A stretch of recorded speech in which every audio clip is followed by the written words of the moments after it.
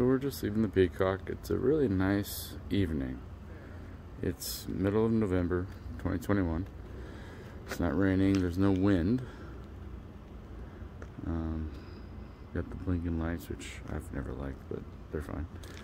And uh, it's relaxing outside.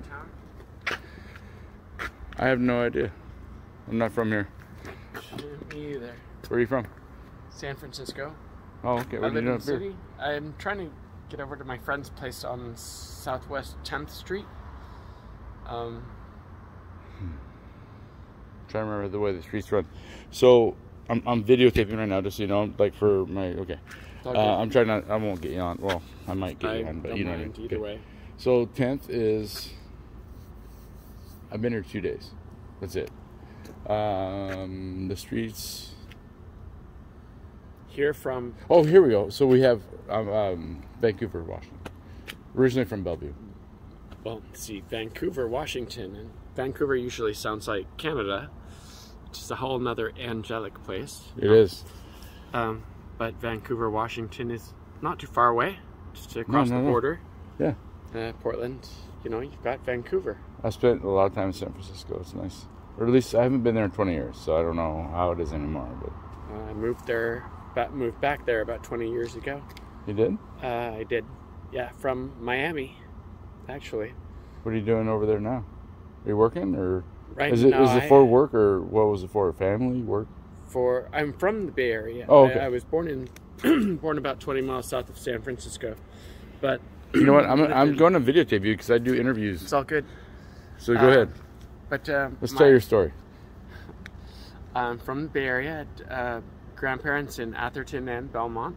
Okay. Um, during the late 70s, early 80s, uh, there was a big move from uh, the Bay Area up to uh, the northwest, up to Seattle, up towards uh, there. And my mom sold our our meager house, Meager. I love the word. meager house in 1980 Ooh. and uh, moved ourselves up to uh, Shelton, Washington. Shelton. Shelton, which is on the other side of the Puget Sound. It's a uh, place that the uh, person speaking right now does not know well. I've heard of it.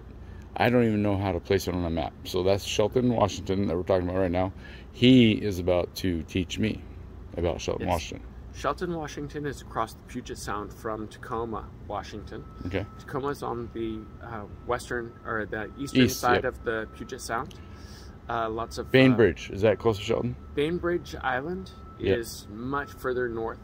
Okay. Bainbridge is uh, a ferry ride away from You know what? I didn't mean Bainbridge Island. I meant, um, where's the port?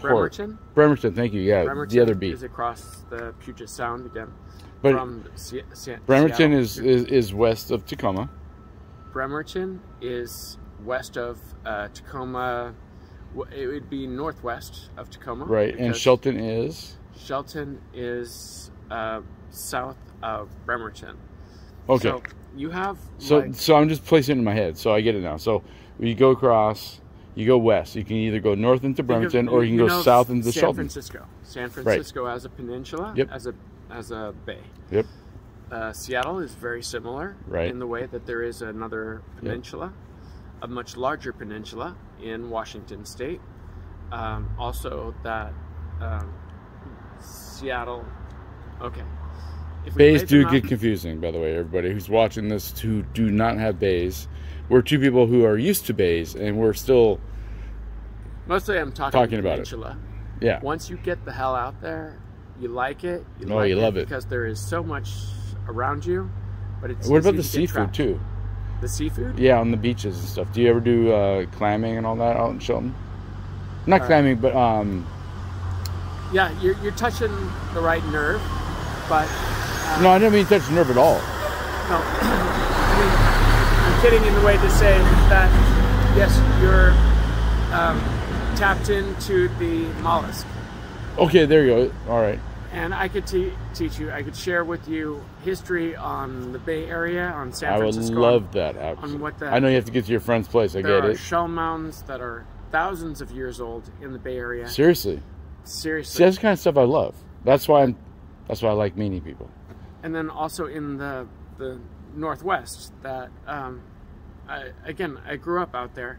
I we had uh, friends across the road that had water access that were on the water that we I would go and pick or harvest oysters out of the mud, Wow. um, just naturally growing yep. and they are wonderful. That was up in the Northwest, but in the Bay Area, um, you go back a couple hundred years, you had huge oysters growing in the, the mud um, on the West Coast, just as naturally as they did in the Northwest. Wow. So, um, but a, a geoduck, I mean, again, any size queen knows what a geoduck is, Yeah. but general public won't know what a geoduck is from a fucking hole in the soil. yeah. But again, you got Not pretty. They're not pretty. you got to sneak up on a geoduck and uh, catch its or distract its attention. What would you describe a geoduck as? I've always said it looks like a large snail. I know other people have said it looks like a large slug. What would you say? You might say it just looks like a geoduck. first I'd start with what's the difference between a snail and a slug? Shell. Snail and the slug is the amount of slime it produces. Ooh. So Well put. again, and then we go on what continent continent are you at?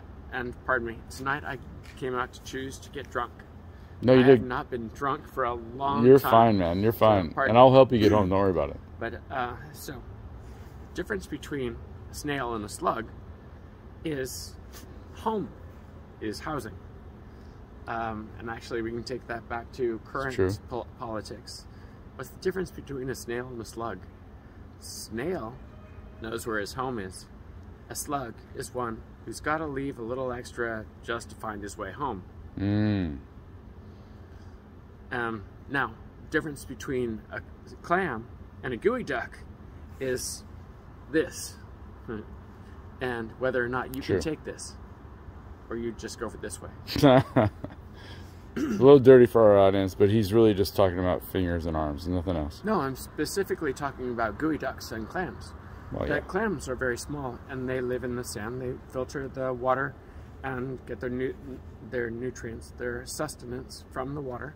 Where geoducks actually are an amazing creature that dig very far down into the sand, and they put up this huge funnel, this very thick, um, muscular tube. That's that- what you're doing with the hand right now. Yes. Okay.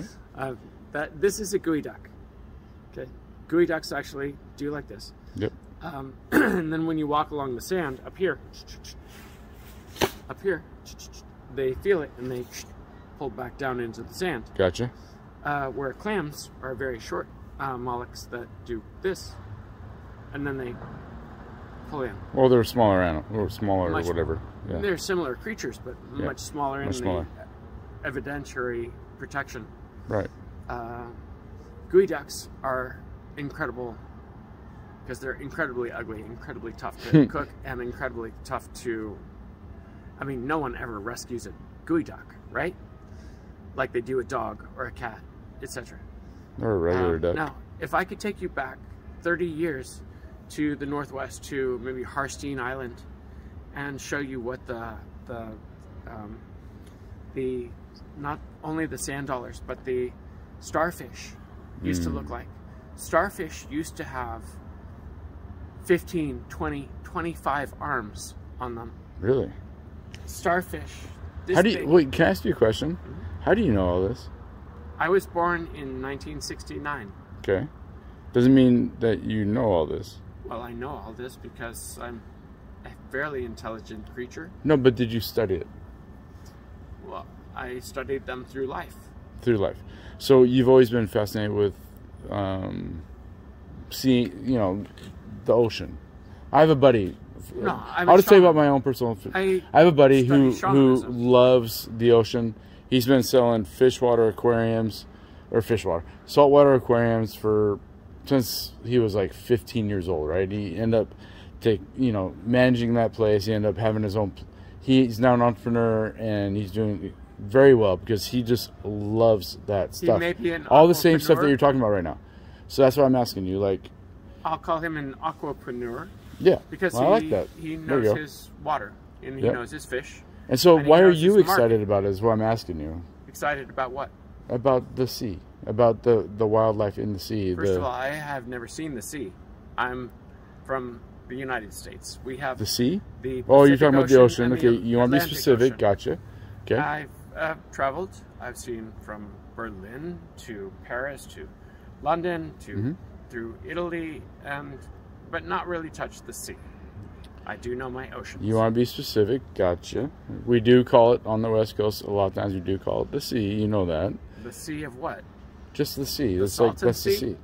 Which is wildly. You're being very you know, specific. I get that it. That's the- fine. The That's open fine. market for Hey. lithium. It's well. See, you're going a little bit north or west or south or wherever. What we're talking about. We're talking about wildlife. We're talking about the sea creatures and all that stuff. Having fun conversation. so I'm going to keep it that way. So what I'm asking you is, when you think about this stuff, does it bring you enjoyment? Like, I had because my buddy, right? Because everybody has friends. So my because he's one of my best friends Please for ask life. me a specific question. I'm going to. I'm getting there. He's one of my best friends my entire life. Because of that, I had a saltwater aquarium. I don't know much about do the I. sea or I the ocean or the rivers or any of that stuff, right? But I learned a lot aquarium. because I had that going on. So that's why I'm asking you, when when you learned all this knowledge, was there a reason for it, or were you just wanting to read? Like, what was the reason for it? Let's see. Let's say And I get it. that last question was, whoa, way mark here. Mhm. Let's go for a question up here. What's the question up there that you want question up is, is what is it that they would like to hear right now? no, now. that's not the question I'm asking. I'm trying to get to know you. All right. Have you never have you never had a person higher. try to get to know you? Mm, no, That's sad. I- not. Yes, sad for you. is. I'm sad for it you. actually is. I, I, I actually was crying over a lost love earlier. oh, So that's what brought me out tonight. Well, I'm I sorry about been that, man. drunk in 20 years. And I came out tonight and I kept buying shots for myself and anybody that would play me pool. you do know that you've been taking it out on me a little bit the last 10 minutes, right? Which is fine. Oh, 10 minutes? Not all night. Just First 10 of all, I haven't been taking it out on you at all. You've been a little salty. And I've, I've been being very kind to you, and you know that. And I'm even going to help you get to where you need to go. So I'm just, I'm just, Yeah, you can turn off the camera now. okay. I will turn the camera off.